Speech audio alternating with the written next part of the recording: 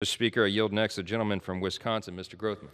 Thanks. We're going to try to add a few, a few additional things about fentanyl. I first got here about seven years ago. And at the time, there were 47,000 deaths caused by illegal drugs a year.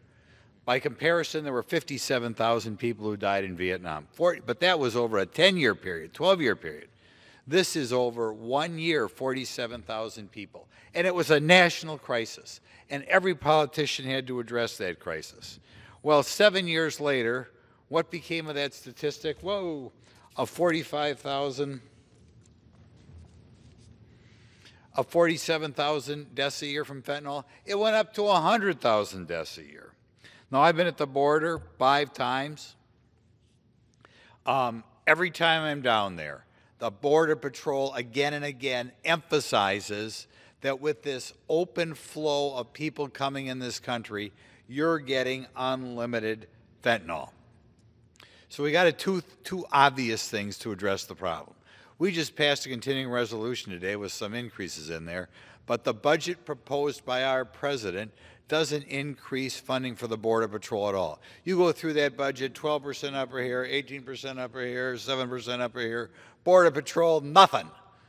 Like these lives don't matter at all. We've got to spend more money at the border. Secondly, when it comes down to penalties for people who are selling this fentanyl or trafficking in fentanyl, they are not great enough right now, your, your penalties for heroin, which is a fraction as lethal as, as fentanyl, are much higher, the mandatory minimums, than the cutoff for fentanyl.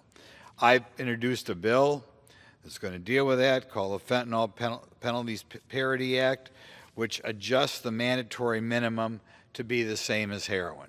So we've got to throw more people in prison. That 100,000 deaths, by the way, that's not what we call nonviolent. Ask the parents of the people who died of these fentanyl overdoses whether that's just a nonviolent crime and we'll slap somebody on the wrist and who cares.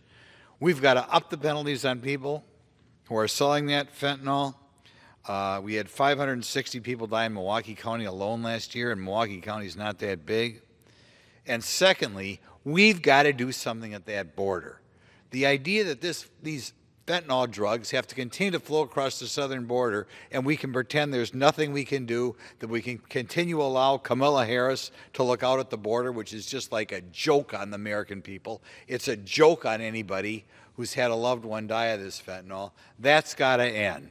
I hope everybody in this building, those people fortunate enough to meet the president, tell him, get Kamala Harris off that border and get us some more Border Patrol agents down there so it shows that we're taking the lives of these 100,000 people a year a little more seriously.